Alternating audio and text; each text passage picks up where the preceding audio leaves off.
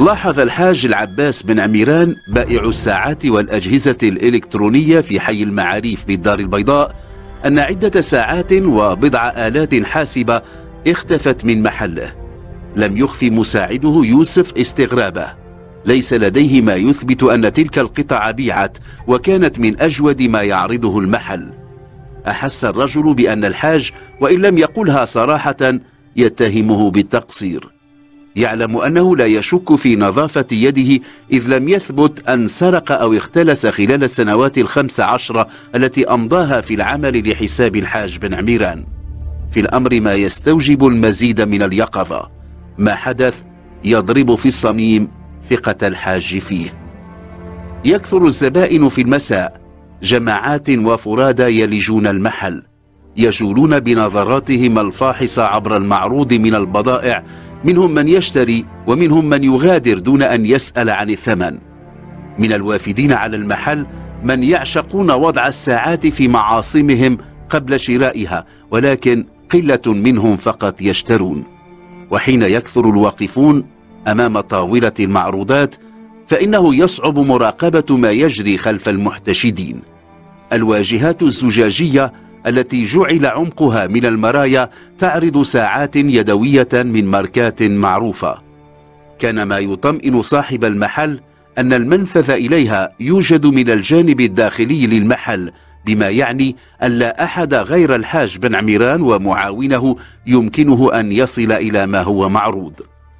كان قد انقضى أسبوع على اكتشاف اختفاء تلك الساعات والآلات الحاسبة لما انتبه يوسف إلى أن ساعتين من نوع جيد فقدتا.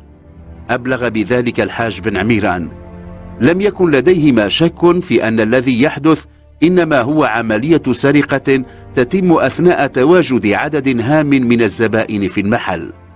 فكر الحاج في استخدام شخص ثان لن تكون له من مهمة سوى مراقبة ما يجري حين يكون يوسف والحاج منشغلين مع الزبائن.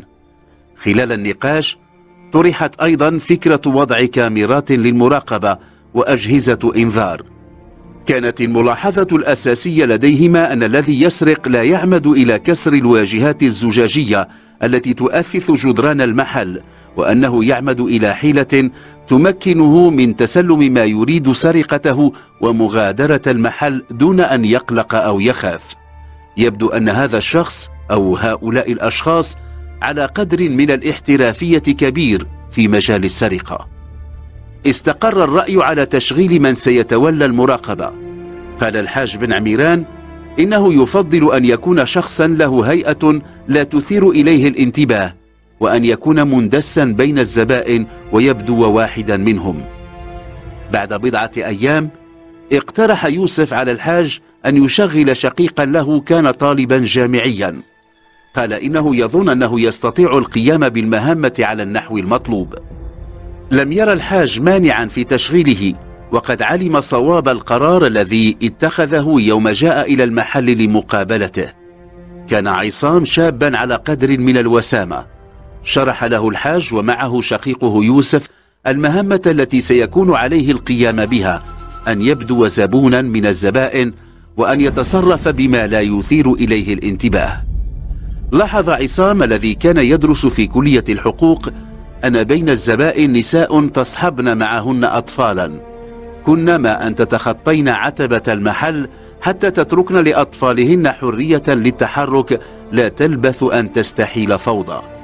وبين الزبونات نساء تلتصقن بطاولة المعروضات ولا تتوقفن عن طلب ساعات تضعنها في معاصمهن ثم تنزعنها وتتبدلنها بأخرى. ثم حين ترين ساعة أجمل تطلبن من الحاج أو من يوسف أن يأتي بها. ثم تكثر الساعات الموضوعة أمامهن. ثم بعد أن تبدين أسفهن تنسحبن وتزعمن أن لا واحدة من تلك الساعات أعجبتهن. كثيرات هن اللواتي كن تغادرن وهن تنادين على أطفال اختلطوا بالزبناء اختلاطا. حدث أن رأى يوسف طفلا أو طفلة وفي يدها ساعة أو شيء مما كان يباع في محل الحاج بن عميران. حين يكون طفلا بالكاد ينطق كلمات فإن الأمر لا يحتمل أي تأويل. الأشياء اللماعة أو ذات الألوان الزاهية ينجذب إليها الصغار. بل إن كل ما يرونه في أيدي الكبار يجذبهم من باب حب الاكتشاف والاستطلاع. ولكن نساء كثيرات لا تدخلن المحلات التجارية برفقة أطفال دون الأربعة أعوام بل يكون معهن أطفال في العاشرة وفي الثانية عشرة ممن يختلف تصرفهم عن تصرف من هم دون الرابعة. بعد أسبوع من العمل جاء عصام إلى الحاج بن عميران ليقدم له تقريره الأول. كان قد تحدث من قبل إلى شقيقه في الموضوع. قال إن أكثر ما يثير انتباهه أولئك الأطفال الذين يرافقون أمهاتهم والذين ما أن تطأ أقدامهم المحل حتى ينطلقون في كل الاتجاهات ويختلطون بالزبائن اختلاطا لا يتيح مراقبتهم بالشكل المطلوب. مضى عصام إلى أنه يتعين القيام بما يضع حدا لذلك السلوك. ولكن الحاج بن عميران وهو التاجر المتمرس رد بأن كل تضييق على حرية تحرك الأمهات وأطفالهن قد يكون له أثر سلبي على نشاط المتجر وسمعته. أضاف أنه لن يكون من المعقول البتة أن يفترض أن كل الأطفال الذين يرافقون أمهاتهم يعمدون إلى أخذ أشياء من المعروضات. كان الاجتماع الذي انعقد مساء ذلك السادس من يونيو من العام 6 وألفين يشبه اجتماع خلية أزمة. لن يقبل الحاج بن عميران أن توصف بأقل من ذلك. طرحت كل الخيارات حتى تلك التي سبق أن تم التفكير فيها مثل وضع كاميرات للمراقبة. ثم انفض الاجتماع باتفاق على مزيد من المراقبة وبفعالية أكبر. يبدو أن الحاج بن عميران يريد تفادي مصاريف إضافية في الوقت الراهن على الأقل. مساء الحادي والعشرين من يونيو وكان يوم سبت تدفق إلى متجر الحاج بن عميران متسوقون كثيرون. كان الحاج ومساعده يوسف وأيضا عصام يتوقعون أن يقبل على المحل التجاري أناس كثيرون. فقد علقت على واجهة المحل لافتة تعلن عن تخفيضات هامة تصل 50% في أسعار بعض المنتوجات. بالنسبة للثلاثة سيكون اختبارا غير هين. لا يفضل الحاج بن عميران وصف العسير هو الذي لا يفتأ يردد اللهم يسر ولا تعسر ذاب عصام وسط المتسوقين كان أكثر من يركز عليهم الأطفال. وفجأة رأى طفلا بدا له أنه في الثامنة أو العاشرة وهو يمسك في يده بساعة من أثمن ما يعرضه المحل. فضل التريث ومتابعته من بعيد ظن أنه سيمضي بما في يده إلى شخص يرافقه. لكن لا شيء من ذلك حدث. مضى الطفل وهو يتلفت في كل الاتجاهات يريد أن يخرج. كان يحاول إخفاء ما في يده تحت قميصه لما أمسك به عصام. ماذا تخفي تحت ملابسك؟ سأله. اتركني صرخ الطفل. اتركني. ولكن عصام لم يتركه. حاول أن يتفلت منه ولكنه كان محكما قبضته عليه. من يرافقك؟ اتركني. لم يكن يقول غيرها. انتبه إلى صراخه بضعة متسوقين. رأى عصام ثلاث نسوة تخرجن لفت انتباهه استعجالهن الخروج دون أن تشبعن فضولا غريزيا بمعرفة ولو جزء من حقيقة ما يجري. اقتاد عصام ذلك الطفل إلى مكتب الحاج بن عميران. قبل أن يدخل المكتب ألقى الطفل ما كان يحمله ولكن عصام انتبه إلى ذلك فأخذ الساعة اليدوية الثمينة. كان الحاج منهمكا في التعامل مع الزبائن ولما لمح عصام يسير نحو المكتب مضى نحوه.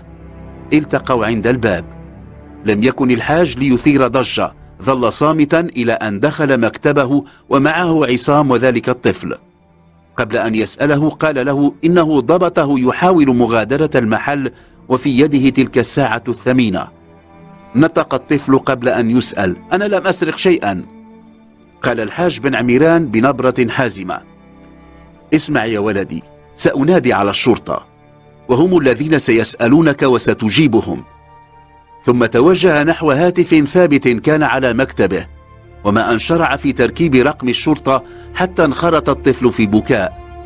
لم تكن واضحة تماما تلك الكلمات التي كان ينطق بها ولكن عصام استطاع أن يتبين منها قوله سأحكي لكم كل شيء ولكن لا تطلبوا الشرطة.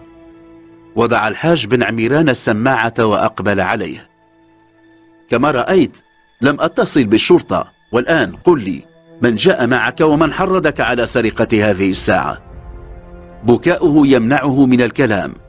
خرج الحاج وهو يقول لعصام إذا ما لم يقل كل شيء أخبرني حتى أطلب الشرطة. سمع باب المكتب يغلق وعم صمت إلا من شهيق ذلك الطفل. دنا منه. ما اسمك؟ تردد قبل أن يجيب. عدنان. قل لي يا عدنان مع من جئت إلى هنا؟ عاد ليمتنع عن الكلام. قل ولا تخف ولكنه لم ينطق بكلمة. ثم انفتح باب المكتب وظهر الحاج بن عميران. هل قال مع من جاء؟ لا يا سيدي. إذا فلنطلب الشرطة وصل الحاج نحو مكتبه أخذ الهاتف وركب الرقم. ثم سمع يتحدث عن ضبط طفل متلبس بسرقة ساعة يدوية. سمع أيضا يقول إن الطفل موجود ويرفض أن يقول مع من جاء. ثم كلمات الشكر. وضع السماعة ودون أن ينطق بكلمة خرج. أحدثت الباب ذلك الصوت المألوف ثم عم الصمت. بعد نصف ساعة جاء إلى متجر بن عميران شرطي بالزي المدني. صافحه الحاج ومضى به إلى مكتبه. كان الطفل هناك مع عصام الذي ما أن دخل الحاج وأدرك أن الذي معه من الشرطة حتى غادر المكتب. قال رجل الشرطة سأخذك معي وإذا لم تقل لنا من أرسلك لتسرق تلك الساعة فستمضي الليل في الكوميسارية. عاد ليبكي ولكن رجل الشرطة قال له إن الأفضل له أن يقول سكت وقد حسب الحاج بن عميران أنه عاد ليلوذ بالصمت ولكنه تكلم في النهاية جئت مع فضيلة ومليكة من هما؟ هل هما من أقربائك؟